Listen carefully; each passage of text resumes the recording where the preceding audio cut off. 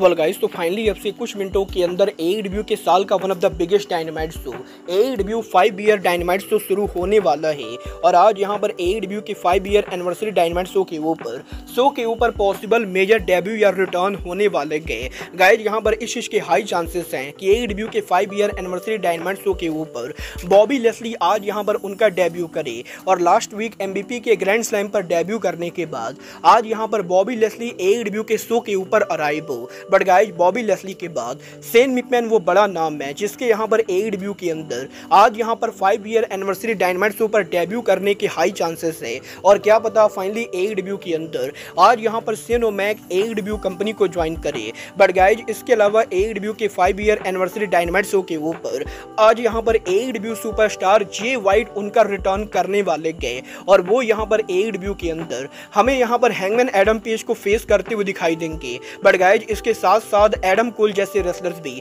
Currently यहाँ पर medically clear हो चुके गए और कोल के रिटर्न होने के भी हाई चांसेस है।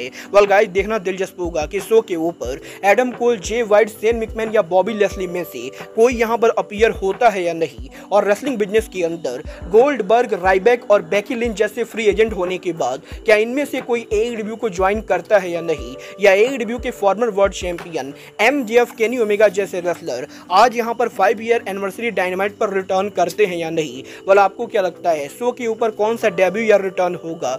आप लोग मुझे कॉमेंट करके बताएँगे